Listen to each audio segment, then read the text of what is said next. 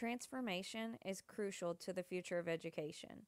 Just as I transformed from the cute little clown at the circus to the passionate educator that I am today, from the inspiration of Teach Like a Pirate and my Twitter PLN, these kids wanted a change.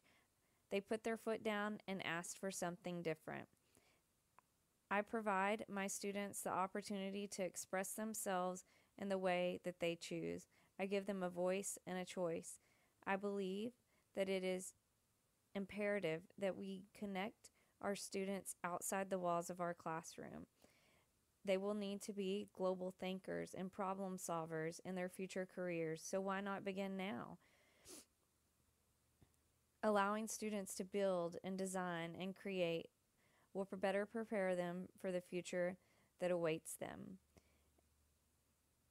Allowing your students opportunities to express themselves the way they choose, to collaborate, to problem solve, and to critical think can take you and your teaching to the next level. I am crazy about education, and I hope that you are too. Grow your PLN by getting on Twitter, Voxer, whatever you are comfortable with to connect with other educators around the world. Provide your students an environment where they feel they learn best. Make every day awesome for your students.